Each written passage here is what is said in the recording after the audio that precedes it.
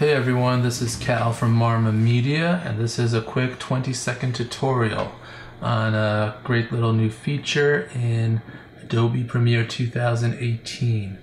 Uh, so I have my timeline here, and uh, I just laid down a black color matte um, just to get the sequence going. So what you want to do is you go to Graphics, and you click New Layer, and you click Text, and then boom, you have a new text layer here which you can customize. Let's do uh, Winter is Coming because who doesn't like Game of Thrones?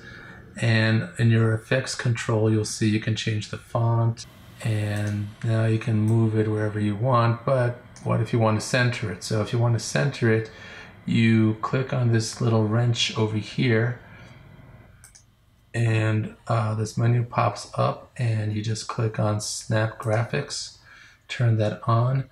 And now when you come back and um, you see the red line there just try to find to get your vertical um,